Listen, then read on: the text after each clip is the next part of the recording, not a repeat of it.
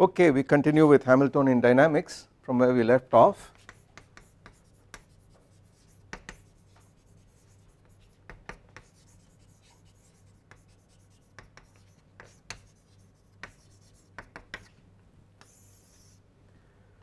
Uh, recall the conditions we had for the integrability of a Hamiltonian system.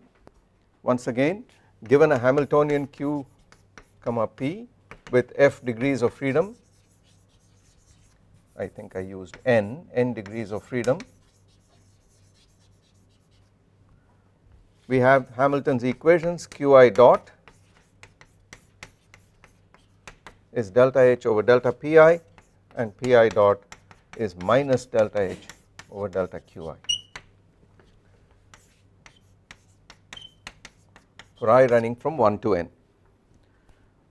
And I pointed out that this system is integrable in the sense that you can explicitly write down time dependent solutions for all the q's and all the p's given any set of initial conditions provided there exist n constants of the motion f1 to fn in involution with each other such that the Poisson bracket of any fi with any other fj vanished identically. If there exist these constants of the motion then the system is integrable and the problem is completely solved. And it was done by going to what are called action angle variables where the Hamiltonian h of q comma p was transformed by a canonical transformation a transformation with Jacobian equal to plus 1 and the Poisson bracket structure preserved to a new Hamiltonian in variables called action angle variables and this became a function of just the action variables. And then one discovered that the problem was completely integrable completely solvable. Now what does this imply in geometrical terms? This is what we were trying to understand. And I pointed out that the Poisson bracket condition this quantity vanishing here can be rewritten in terms of this matrix J we introduced which was a 2n by 2n matrix with zeros here zeros here the unit n by n matrix here minus the unit n by n matrix here and this condition simply became this quantity equal to the gradient of fi transpose j the gradient of fj. In other words these vector fields formed by the gradients of these constants of the motion of these functions of q's and p's they are pseudo orthogonal to each other in the sense that the dot product of this row vector with that column vector is 0. This means that if the system is integrable in the Liouville Arnold sense there exist n vector fields formed by the gradients grad f1 grad f2 through grad fn which are independent of each other on the space of these i's and thetas completely. That has a profound implication and it implies that you have in this 2n dimensional phase space a 2n minus 1 dimensional energy hypersurface the motion is restricted to that for any set of initial conditions. Over and above that the motion is actually restricted to a subspace of this 2n minus 1 dimensional energy space such that these n quantities are constants completely. Moreover on this n dimensional subspace the n vector fields formed by these gradients are independent of each other now it turns out that there is a deep theorem in mathematics which says that if you have a space which is compact and everywhere in this space you have n independent vector fields by compact I mean it does not go off to infinity it is unbounded there is a technical definition which we will write down a little later then the only such space possible is isomorphic to something called an n dimensional torus and let me explain that in slow terms. A one dimensional space which is compact and which has at every point a unique tangent vector would be something like a circle and the mathematicians would denote this by S1. This space is one dimensional and at every point on this space there is a unique tangent vector a straight line which runs from minus infinity to infinity tangent to this point and as you can see if you took this tangent and moved it along this entire circle when you come back here you come right back to the same point to the same tangent as before. Such a space is said to be parallelizable or developable in the sense that you can unroll it you can roll it on a sheet of paper and make a one to one mapping between a straight line segment and this circle without any kinks without any difficulty. You can do exactly the same thing with a 2 dimensional donut a torus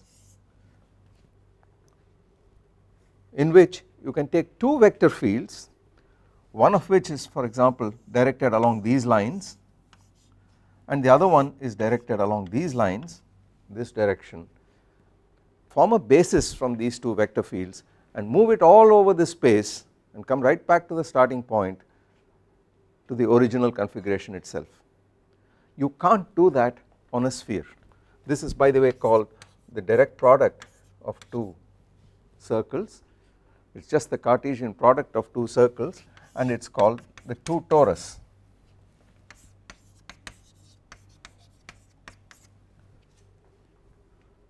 A moment's thought shows you that you can't do this with another two dimensional object the surface of a sphere embedded in 3 dimensions denoted by S2. It is not possible to find a unique tangent map which is not singular at any point on this sphere because if I start with some point here and draw the tangent plane to that point as I move it around it is clear that there is going to be at least one point where this direction of this tangent plane is undetermined there is a singularity. What does it mean? It, you could define this tangent plane by saying imagine like a tennis ball that there are fibers sticking out of this ball and you are trying to comb it and when you comb it it is clear that somewhere maybe at the north pole there is a little cowlick there is a little point that sticks out a singularity of the vector field. So the technical way of saying it is that there is no non-singular global tangent map to S2 like there is to S1 or T2 and the statement being made here is that the most general space which is compact and which is parallelizable in the sense that you can form a basis set of n vector fields. Pardon me, could I explain why? This imagine combing a ball, imagine combing a tennis ball, what happens? You comb it down everywhere, flat, tangent. What happens? Can you do this without a cowlick, without a parting? There is at least one point where there is going to be a singularity and the hair sticks out, the direction in which it is placed is indeterminate. There is a singularity of this field. There will be a bald spot. Invariably. That is not true for a torus. You can comb it down completely. So this is a basic difference in a property of a torus as opposed to a sphere. And the statement being made here is that if you can find n independent vector fields on an n dimensional manifold which is globally applicable smooth everywhere then that space has to be an n dimensional torus. It is a generalization of the 2 dimensional torus. I can't draw an n dimensional torus here because I can't draw anything more than 3 dimensional.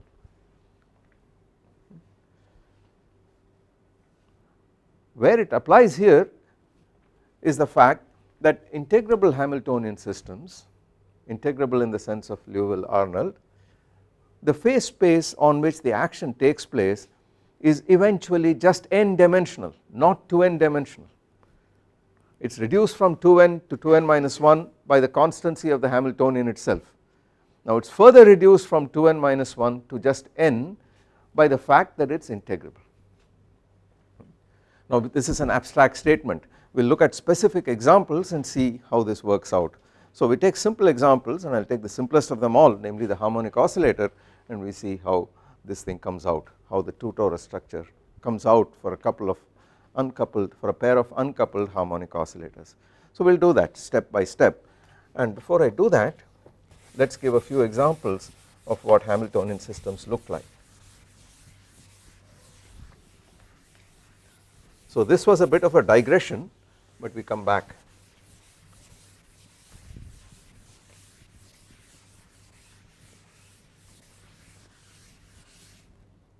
So first let us look at the linear harmonic oscillator.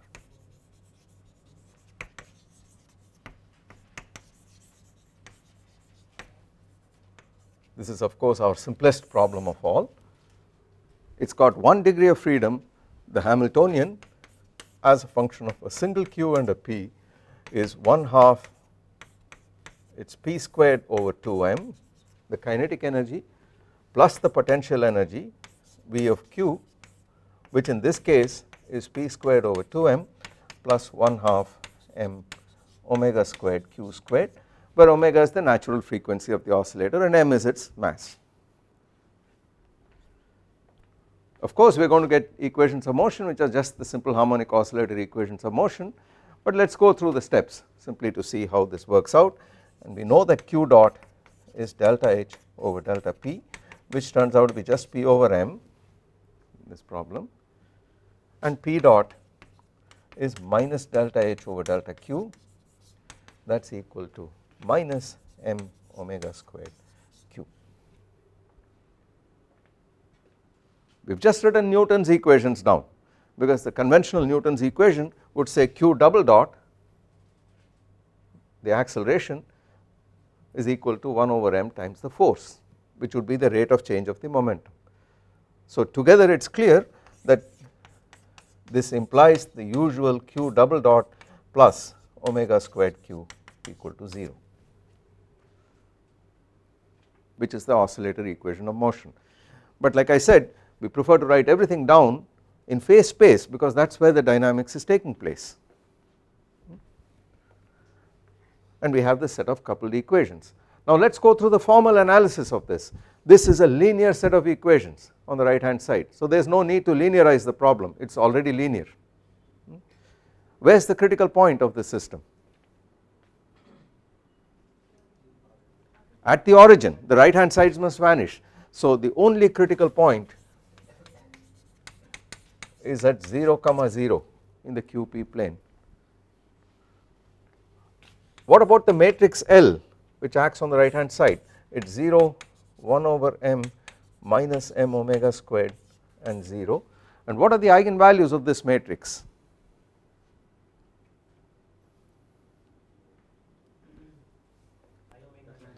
Plus or minus i omega. So it immediately says lambda 1 comma 2 is plus or minus i omega this implies 0 comma 0 is a center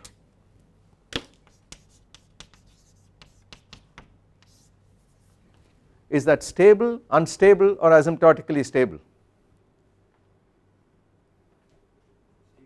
It is stable, it is not asymptotically stable, it is just a stable center.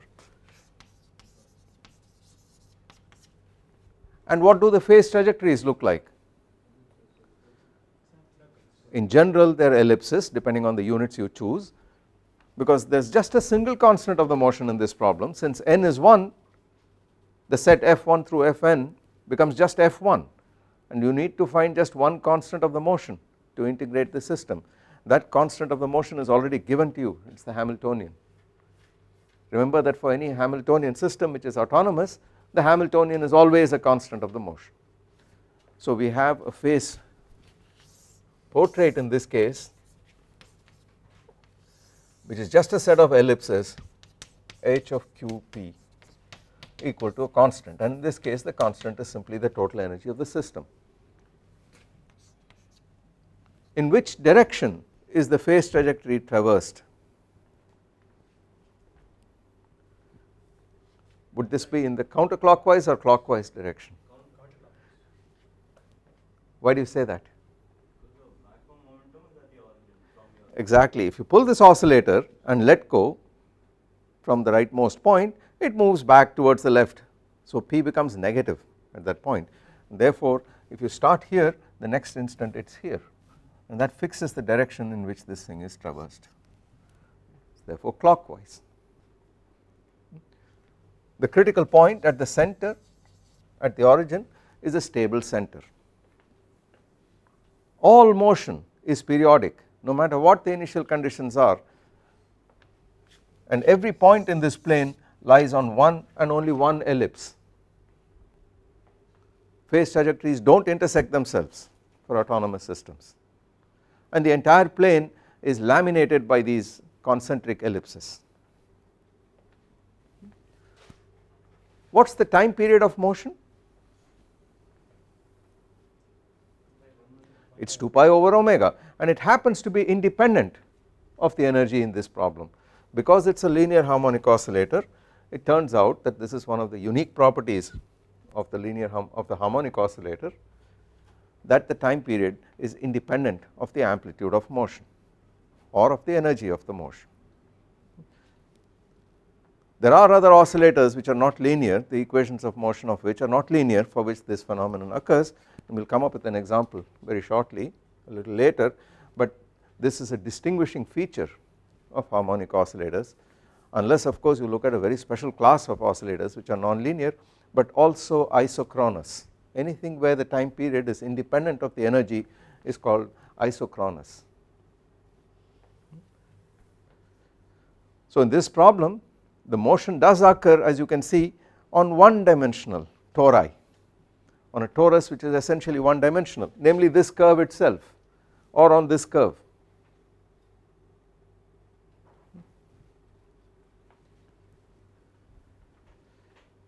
And this magic happened simply because this problem had a potential which was quadratic and therefore it led to an equation of motion which was linear on the right hand side. So the problem is exceedingly simple as you can see. Now let us take this a little more general again with 1 degree of freedom and see what we can say before we go on to 2 degrees of freedom.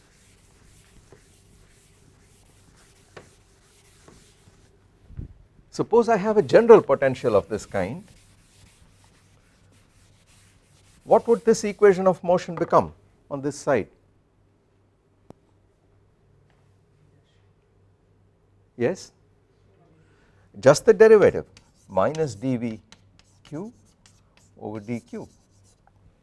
And of course that is the force minus the gradient of the potential with respect to the coordinate. So we recovered Newton's equations of motion except that now the critical points of the system would be given by the vanishing of P and the vanishing of V prime of Q. In other words the extrema of the potential these could be maxima these could be minima there could be inflection points at which the slope is 0 and then of course you would have to further examine the stability or otherwise of these critical points and you could in principle write the entire phase trajectory down the phase portrait down simply because there is just one constant of the motion. But notice one interesting fact right away. So let us say where the Cp, Cp is located at p equal to 0 and the roots of V prime of q equal to 0 which correspond as we have said to just the extreme of the potential.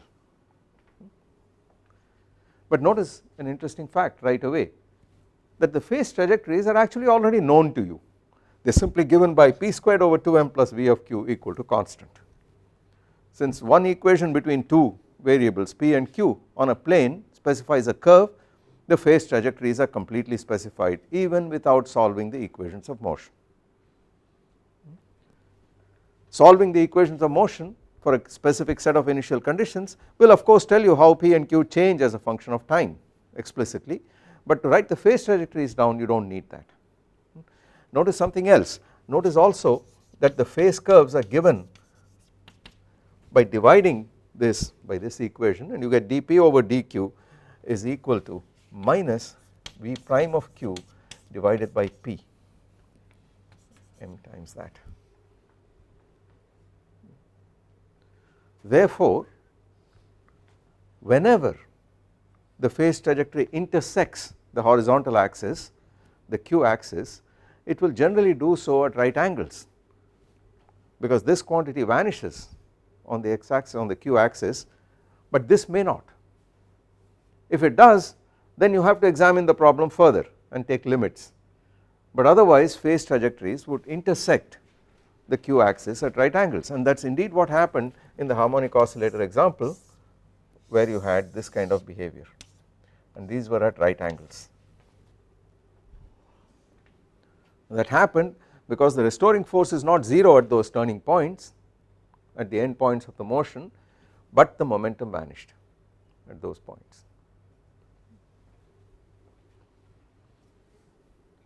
You could integrate this equation you get P dP plus m V prime of q dq equal to 0 and if you integrated it what would you get? You would simply get P squared over 2m plus V of q equal to constant which we already know.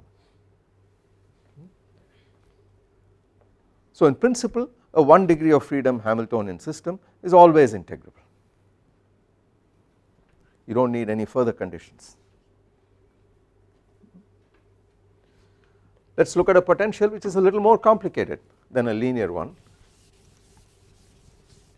So let us suppose V of q and let us choose units conveniently so that I do not have to run into problems with uh, writing these constants down. So let us simply write p squared over 2 plus perhaps uh, q squared over 2 so it is a harmonic oscillator without any extra terms but then I include a nonlinearity and make it q cubed over 3 in suitable units. What happens to the right hand side here? This becomes p and what happens here?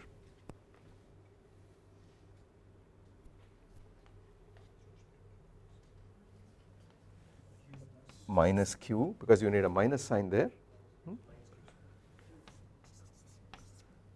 minus q squared that becomes equal to minus q times q plus 1 where are the critical points of this system? Well 0 0 is still a critical point but minus 1 0 is also a critical point and we can easily write down what the solutions are.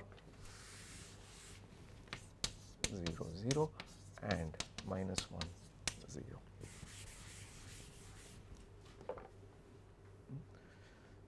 We should draw the phase trajectory or phase portrait but before we do that let us draw the potential so we get some physical idea of what it looks like. So here is the q axis, here is V of q. Now what does this potential look like? just this alone. Sufficiently close to the origin the q squared dominates over the q cubed and therefore it looks like a parabola. So we certainly guaranteed that the potential looks like this here and then for large positive q it shoots off like q cubed goes off to infinity. But then for large negative q this term dominates over this no matter how large you get once q becomes sufficiently large this becomes much bigger than this and then this curve has to come down in this fashion and not surprisingly this extremum is at minus 1 this is at 0 which is a minimum there and a maximum at minus 1. What do the phase trajectories then look like?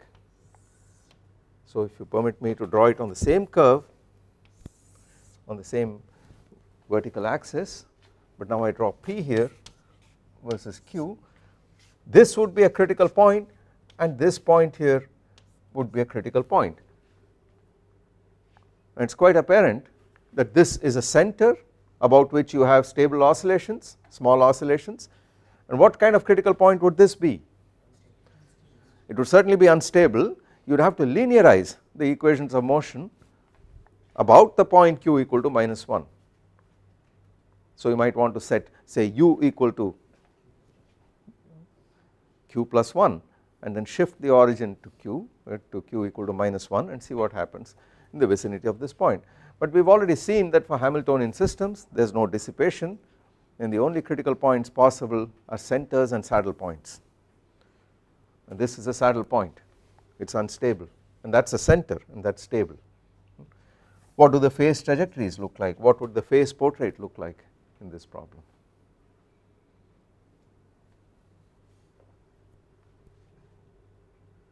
You would have to specify now the initial conditions. In other words, you have to tell me the initial Q and P or better still tell me the initial value of the energy and that remains constant because you are on curves in which this quantity is constant. So what we are really doing is plotting the curve p squared over 2 plus q squared over 2 plus q cubed over 3 equal to a constant. That constant could be positive or negative in this problem because this term could take on large negative values as well. So what would these phase trajectories look like in general? Suppose I started with a value of the total energy that corresponded to some level like this at this level on this figure. This is the 0 of the energy of V of q. Suppose I had a total energy equal to this much. Where would the motion be this is my total available energy. It is clear I can't go into this region because if I did so then this quantity V of q plus p squared should be equal to this number. But V of q is already larger than this number which implies p squared should be negative. That is not possible with real p. So if this is the total energy the system does not have enough energy to get into this region it is restricted to this region and therefore it can never move to the right of this point Now imagine you start with a little ball bearing here in this potential hill and let go from rest what would it do? It would move away to q equal to minus infinity with increasing acceleration. In which direction would this acceleration be? To the left or to the right? In which direction would the momentum be? It would be to the left, it would move further and further to the left. So P would get more and more negative and q would get more and more negative hmm? and therefore this is what the trajectory would look like. On the other hand imagine starting at minus infinity in q and shooting a ball up this potential hill with a fixed amount of energy equal to this much. It is clear it can crawl up this hill this barrier up to this point where its energy where its kinetic energy goes to 0 and then it rolls back. What would that trajectory look like that half trajectory where it starts there and moves to the right but with smaller and smaller values of p of momentum till it reaches this point with 0 momentum. Hmm? It would therefore be the other half of this curve.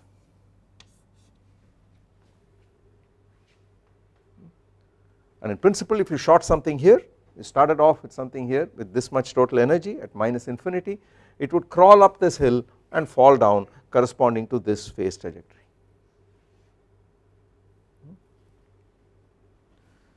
And as we know already since the restoring force at this point is not 0 the slope is not 0 there V prime of q is non-zero at that point therefore it must intersect this line at right angles. What happens if I have a little higher energy? Nothing much, nothing much happens, it follows another trajectory which does this.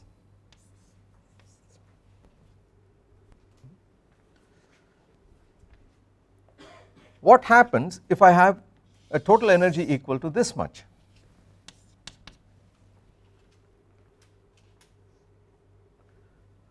It is clear that the particle could move up to this point and this would be a trajectory. But it is also clear that if the initial conditions permitted it to be inside this region to start with it would simply oscillate about that origin. Hmm? Therefore for the same value of the total energy there exists another trajectory which would correspond to oscillations. As I said a closed phase trajectory implies periodic motion and vice versa. So for the same total energy there are two regions in configuration space where the particle could find itself. One would be to the left of this point and the other would be in this well. Motion here would correspond to periodic motion. Motion here would correspond to open or unbounded motion but both these phase trajectories correspond to the same total energy same value of h equal to constant same constant.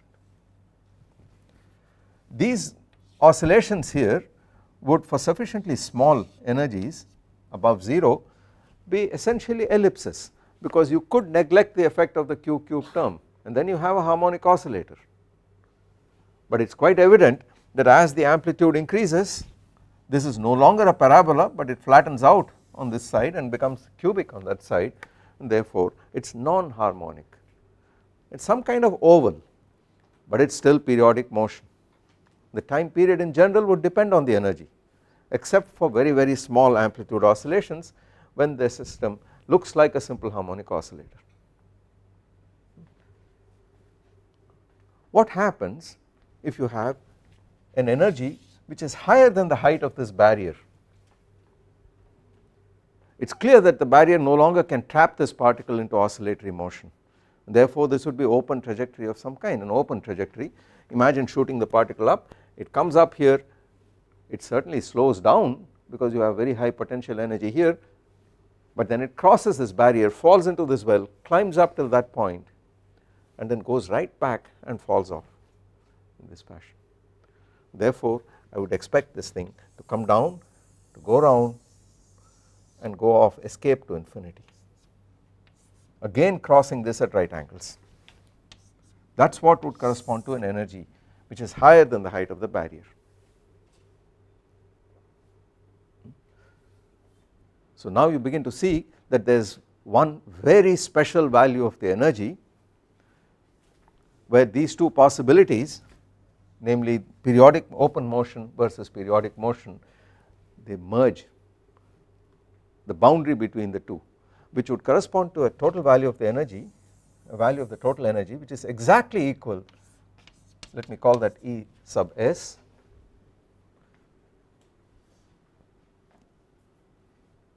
which would correspond to two different kinds of motion. One of which would be remember this point by itself this point by itself is an unstable critical point. It is a phase trajectory by itself if therefore you shoot a particle from here up this hill with just this critical value of energy so that it can barely reach it out there it is going to take an infinite amount of time to do so it would eventually as t tends to plus infinity go and stop there in this fashion. That would correspond to a trajectory which comes along like this and tends to this point as t tends to plus infinity. Had we started with a particle there and displaced it infinitesimally to the left it would fall off and go off to minus infinity here which would correspond to this.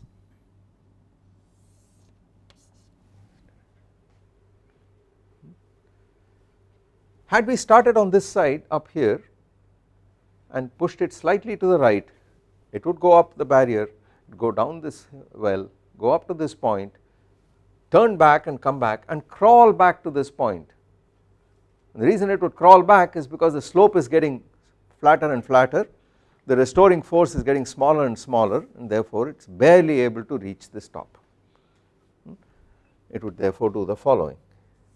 Go here go around and come back and this point of course would correspond to that.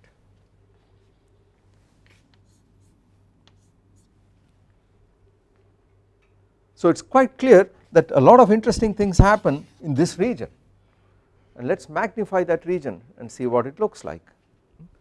That region near the separatrix there is a saddle point here there is an unstable orbit coming out of it which eventually falls back tends back towards it and then there is a separatrix which is flowing in and something which is flowing out. I should really let these things tend to that point asymptotically but instead of that let me just draw it in this fashion so you can see that this is a limiting point. This saddle point if you linearized about the saddle point you discover that the system has two eigenvalues one of which is positive and the other is negative and the two eigendirections or eigenvectors of the linearized matrix L would correspond to these directions. This is called the stable manifold of this critical point and that is called the unstable manifold of this critical point. And as is typical of a saddle point two lines come in and two lines go out. Near this saddle point the system is hyperbolic and the whole thing looks like hyperbolas the phase trajectories look like hyperbolas. So you have behavior of this kind. Of course these trajectories would eventually flow off and this would go around and join up there and similarly inside here these would be parts of periodic orbits and these would be parts of open orbits but locally it looks like a saddle point should. Notice also that this tangency here is not at right angles. This is the one case where this intersection at right angles does not happen. And the reason is V prime of q also vanishes at this point. And therefore you have to take the limit V prime of q over p as you approach the critical point. Both numerator and denominator vanish at that point. And you have this typical saddle structure. I leave it to you as an exercise to find out in this problem what this angle is, what the angle subtended by the two separatrices are. This trajectory which separates open motion of this kind from open motion of this kind is called a separatrix.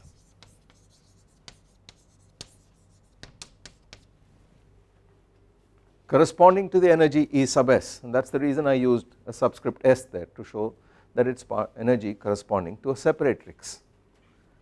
This trajectory is a separatrix.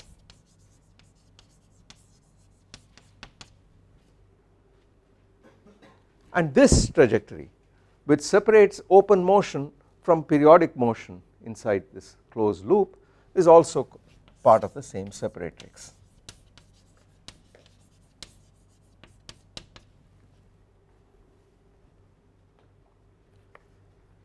This particular trajectory has an even greater significance there is a special name given to it because it is starting off from a saddle point moves off in the unstable part of the unstable manifold and it loops back and comes back to the same saddle point as part of the stable manifold.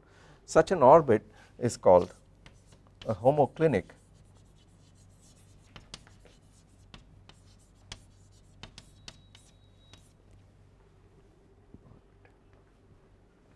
homoclinic orbits play a crucial role in the behavior of nonlinear dynamical systems.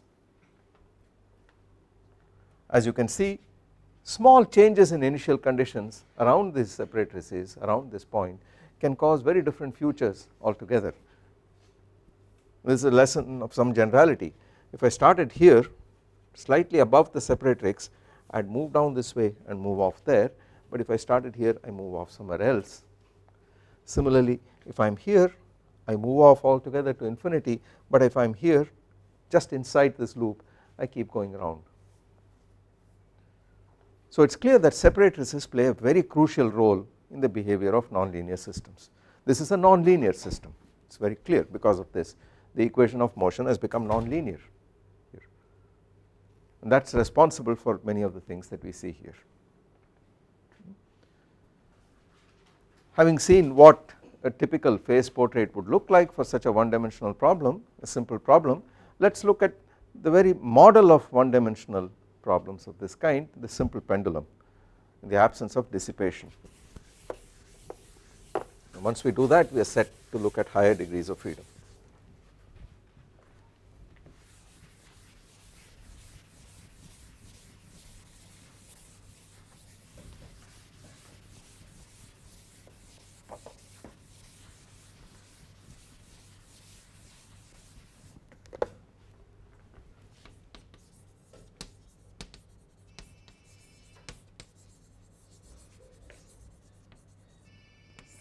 What I mean by a simple pendulum is a mathematical pendulum.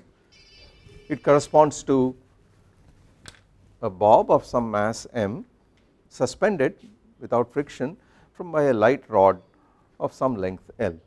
So this is the point of suspension which I take to be the origin and from that you have a light massless rod of length L and a heavy bob of mass m.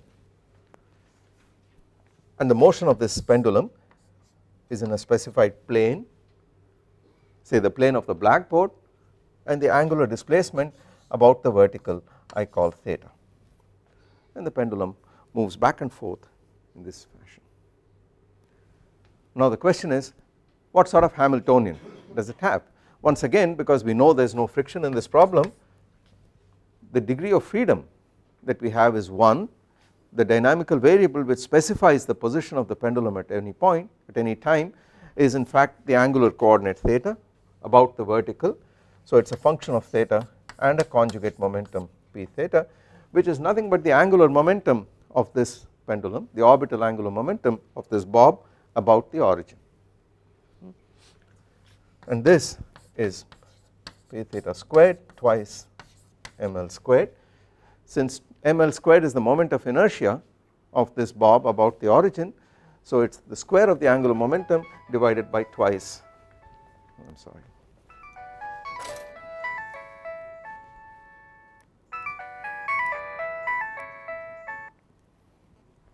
Should have switched it off earlier. So it is the square of the angular momentum divided by twice the moment of inertia plus the potential energy which is a function of the angular displacement theta alone. Now let us assume that the potential energy is 0 when the bob is at its lowest position then when it is at an angle theta about the vertical the potential energy corresponds to raising the bob by this height here and therefore it is nothing but twice ml squared plus mgl times 1 minus cos theta.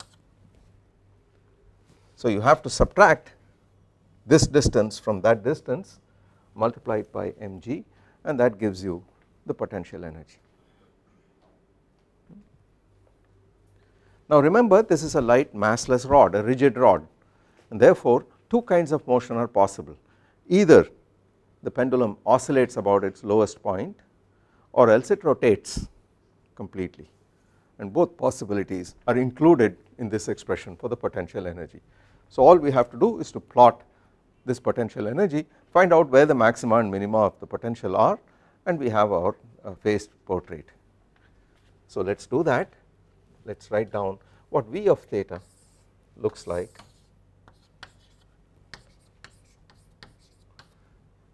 We have to plot mgl times 1 minus cos theta and that is simple. It has a bunch of maxima and minima of this this is at 0 this is at minus 2 pi. This is at plus 2 pi and so on. This is at pi. This is at minus pi. This is at minus 3 pi and so on.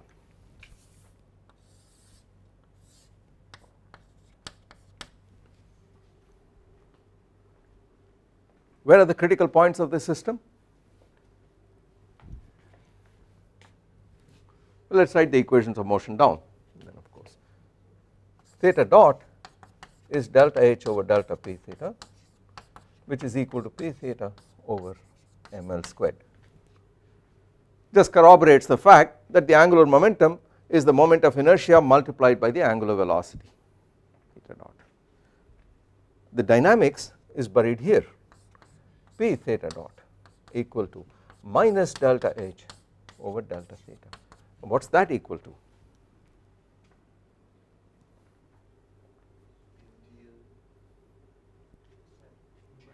It is equal to minus mgl sine theta. I differentiate this I get a minus sine theta this minus goes against this minus and cancels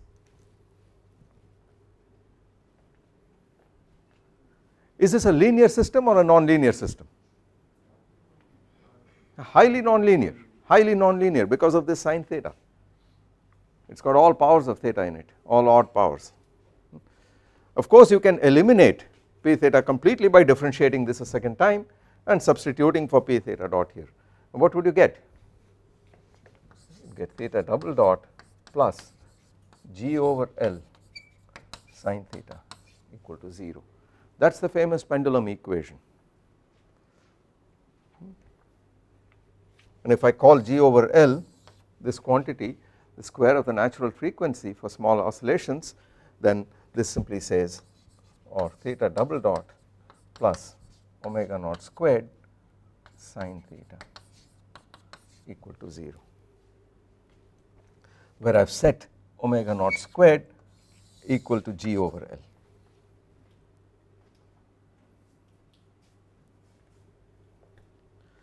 This equation is very famous.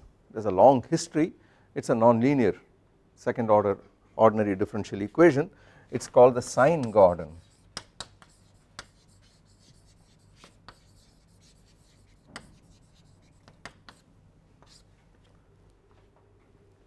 for reasons we will not go into right here this started off this name was a joke to start with but then it stuck completely. It is similar in form to an equation which is known in other contexts for instance in relativistic quantum mechanics called the Klein-Gordon equation. And this nonlinear equation has is related to the Klein-Gordon equation. And because it has a sine here it was as a joke initially called the sine Gordon equation and that name has stuck completely. It has got a long and distinguished history very interesting properties it is a very nonlinear equation but it has some very special solutions as we will see. Nonlinear because of all powers of theta sitting here. I might mention here that you can actually solve this equation in general and the solution is in terms of elliptic functions and elliptic integrals which are not elementary functions. They are not ordinary trigonometric functions. They are a little more complicated than that. But we are not going to do that. We are not going to write the solution down. We are going to look at the phase trajectories and see what the phase portrait looks like. I remind you that in the small amplitude approximation where you can replace sine theta by theta this becomes the harmonic oscillator equation. And then of course the time period of oscillation is just 2 pi over omega naught. But that is only true for small oscillations. The moment the oscillations become reasonably large in amplitude then the time period depends on the amplitude and in fact increases with the amplitude in a fairly complicated fashion. Now what do the phase trajectories look like where are the critical points so CP's at p theta equal to 0 and theta equal to the zeros of sine theta which happens at all integer multiples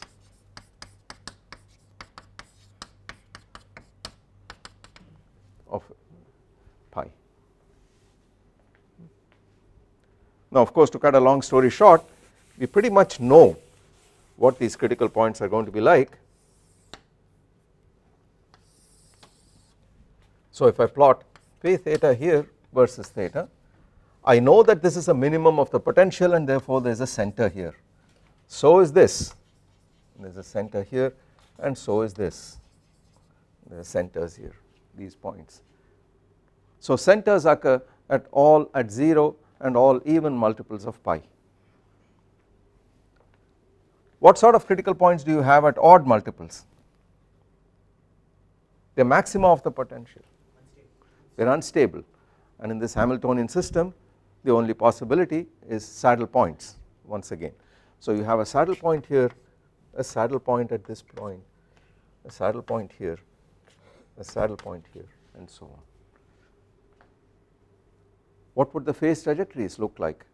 Well it is quite clear that in this problem the only allowed values of the energy are non-negative of the total energy. The moment you have a small positive energy the system could find itself trapped in either this well or this well or this well or this well and in each of those it would execute small oscillations looking like that a little higher energy and these oscillations would have slightly bigger ovals.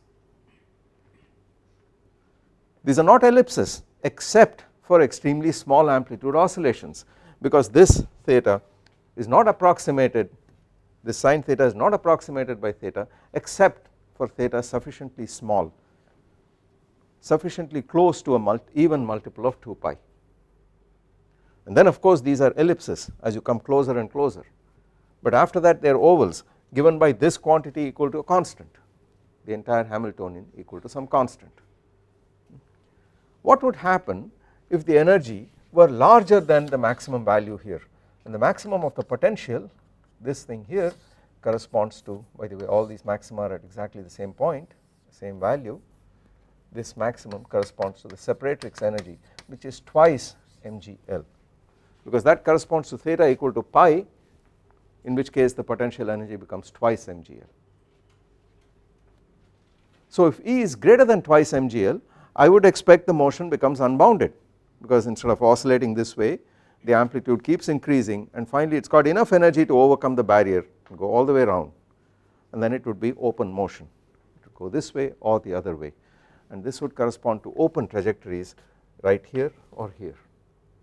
But the interesting thing happens when you have an energy equal to the separatrix energy then of course you could for example start here at minus pi crawl down extremely slowly accelerate as you come down and go up and crawl up all the way to plus pi that would correspond to a trajectory which starts here and ends there and vice versa which would correspond to something doing this asymptotically. Similarly you could start here and go there which would correspond to a loop like that.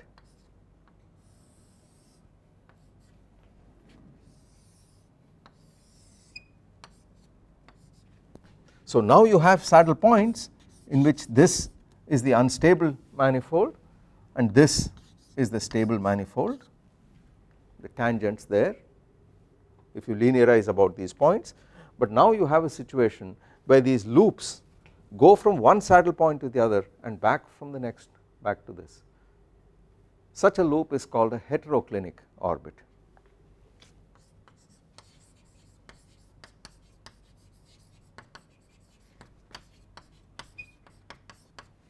and of course they correspond to on this trajectory the energy is E sub s.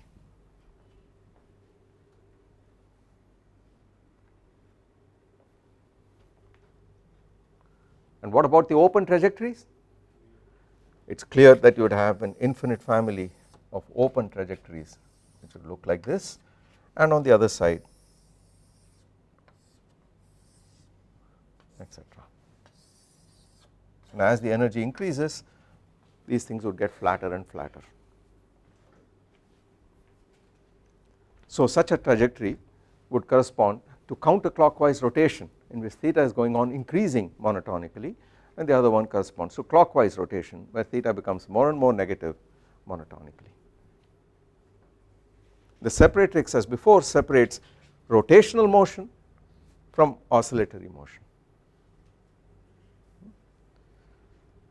The interesting point and that is it this is the phase diagram of the undamped simple pendulum.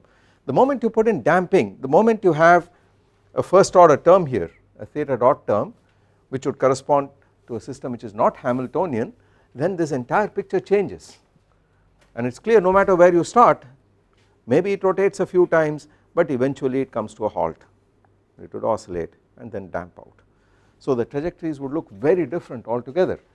And the fate of any point on the phase plane wherever you start would depend on where you started.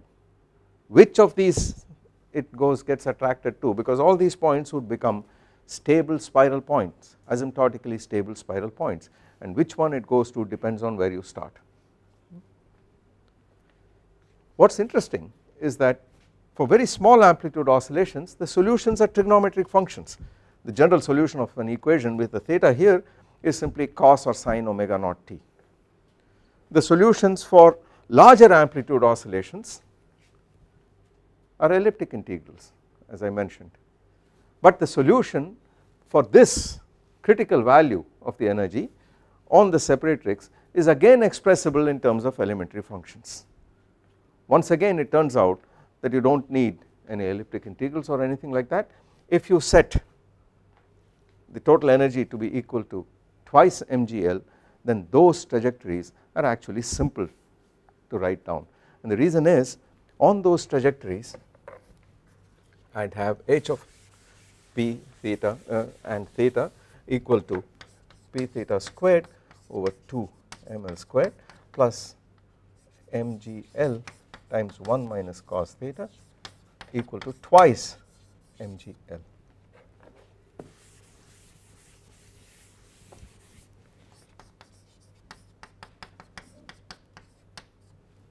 This is true.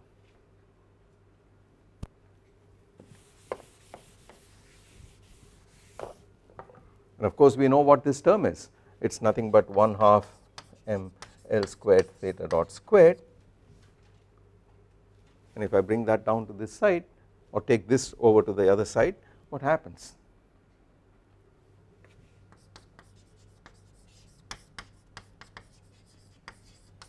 Comes 1 plus cos theta on the other side. The m gets removed. We took take the 2 there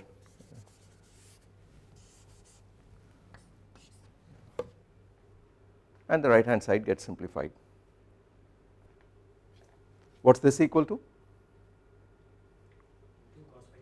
This is twice cos squared, so this becomes 4g over L cos squared theta over 2. If you took this trajectory for example in which theta dot is positive then corresponding to that you have theta dot equal to twice root g over L cos theta over 2.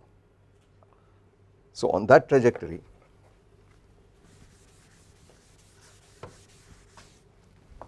theta dot equal to twice square root of g over L but that is omega naught. Cos theta over 2 and this can be integrated. Because all you have to do is to re rewrite this as d theta times sec theta over 2 and integrate it and it can be done in terms of elementary functions. So I leave it to you to write down the explicit solution for an initial condition where at t equal to 0 you are at theta equal to 0 and as t tends to plus infinity you are going to approach theta equal to pi and at t equal to minus infinity you would start off from here at this point. So I leave you to write this solution down and then we look at its special features.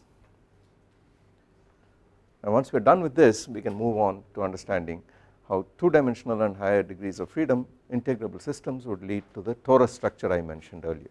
So we will do that next time.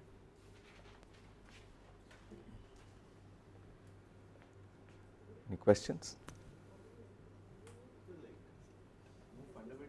Yeah. Uh, actually, a, phase trajectory is a is a graph of the positions in uh, phase space with time. Right?